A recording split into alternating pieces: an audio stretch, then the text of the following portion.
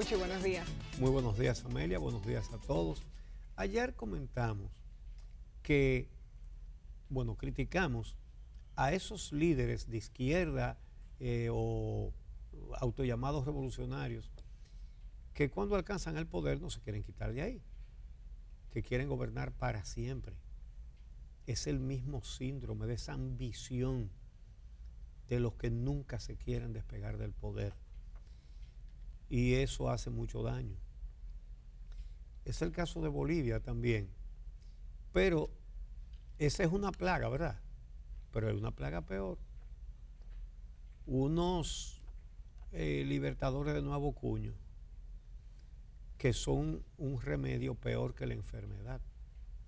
Eso es lo que está pasando en Bolivia. Lo de Bolivia es un golpe de Estado, evidentemente, eh, ante una actitud de Evo Morales de que primero somete a un referéndum cambiar la constitución para poder postularse otra vez y en el referéndum el pueblo le dice no.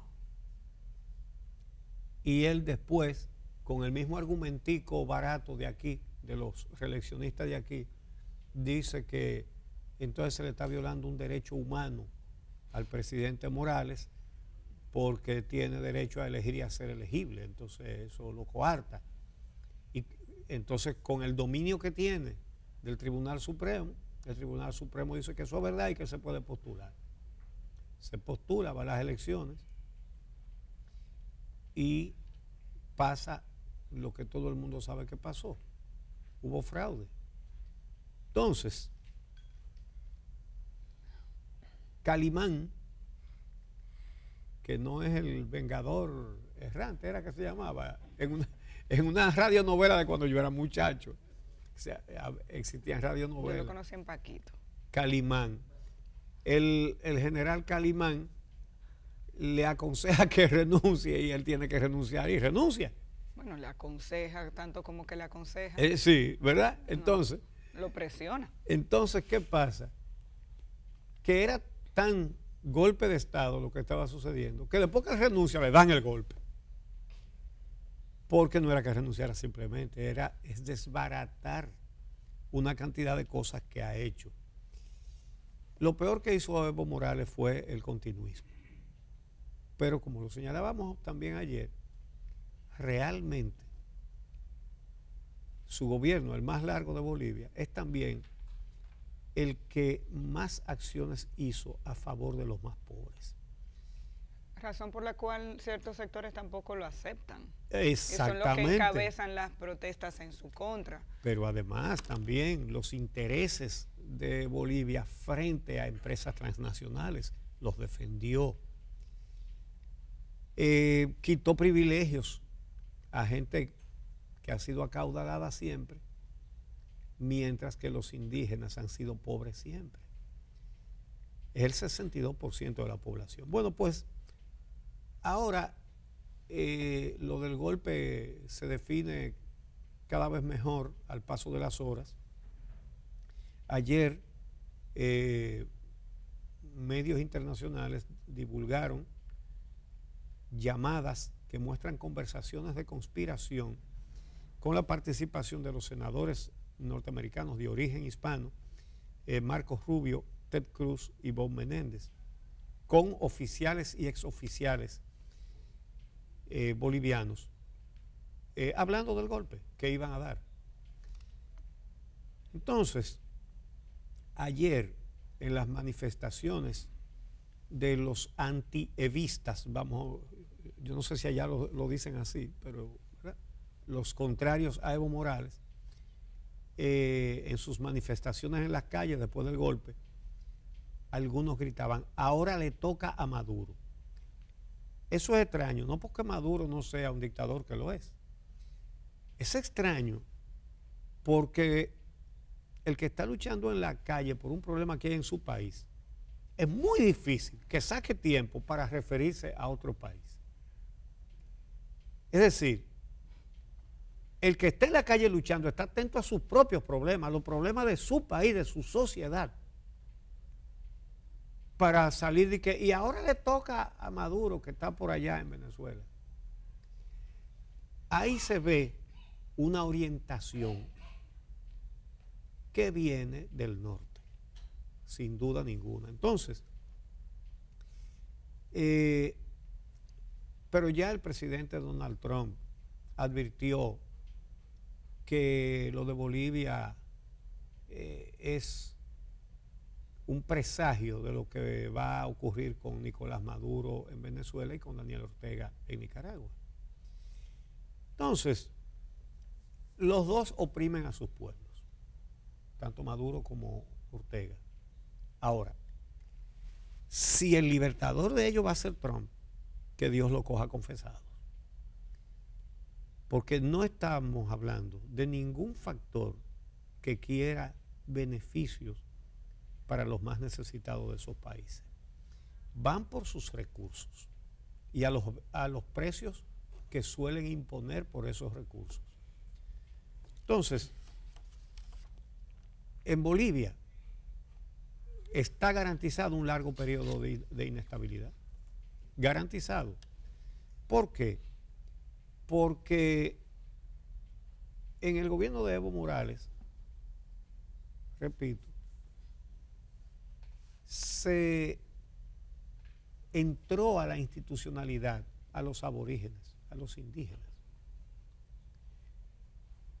Se hicieron políticas para beneficiarlos, se invirtió en educación y en salud fundamentalmente para esa masa, que es mayoría absoluta de la población de Bolivia, es el 62%, repito. El país que tiene más aborígenes actualmente. Entonces, ¿qué está pasando? Ustedes habrán visto en las noticias internacionales cómo están quemando la bandera eh, que es la bandera de los indígenas. En el gobierno de Evo Morales esa bandera de los indígenas se integró a los uniformes militares junto con la bandera boliviana.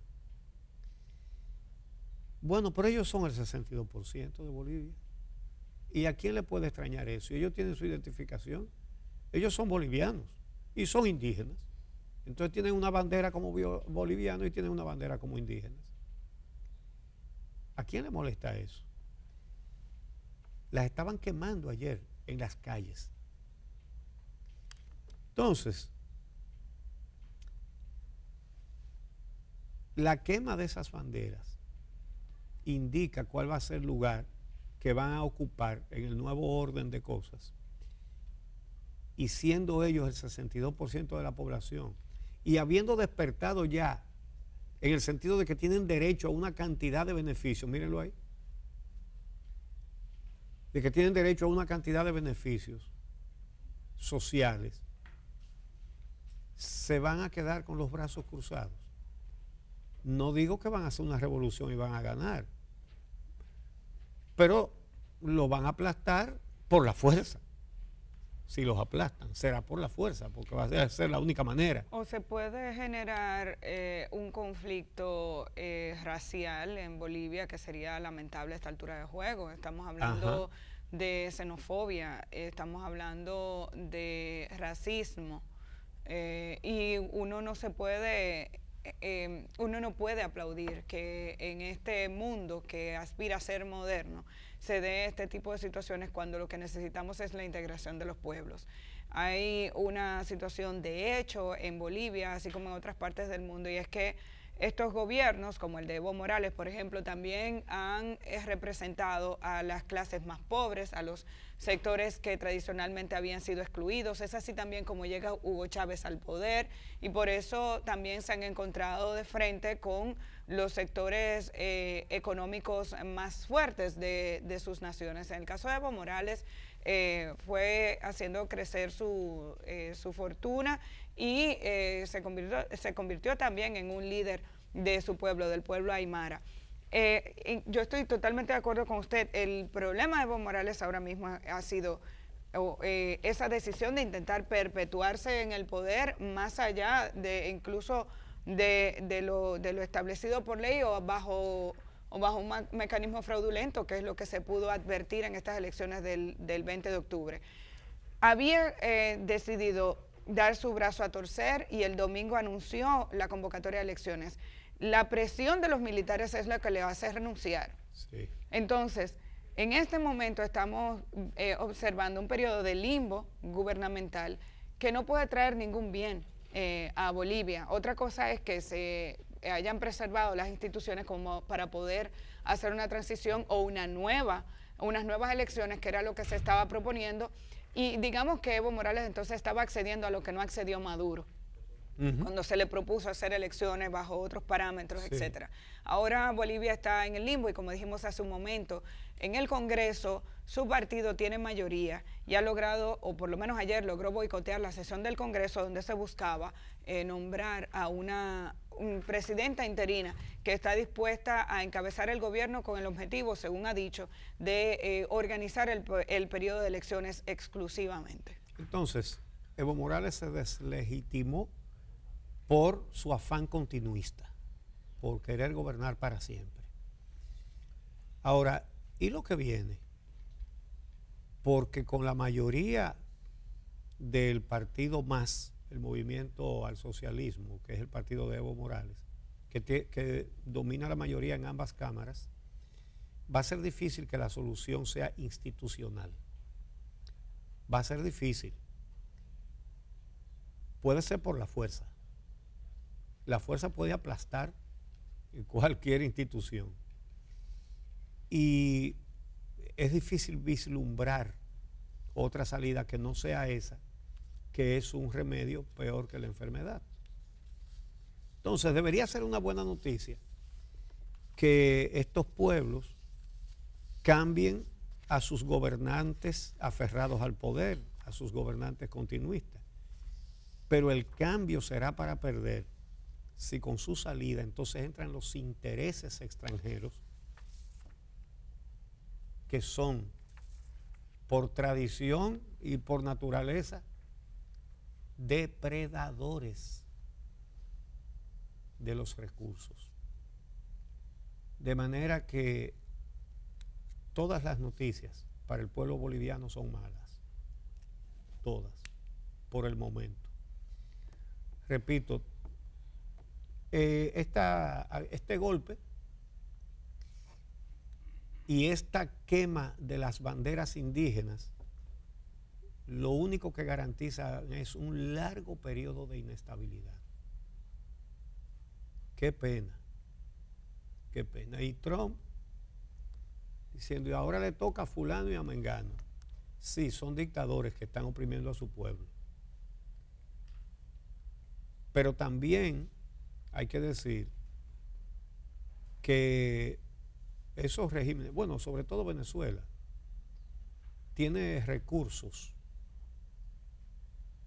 apetecidos por las potencias. Y antes los explotaban uno, ahora son otros. Pero ninguno garantizará que esos recursos sean para provecho del pueblo venezolano. Qué pena que esté pasando todo esto.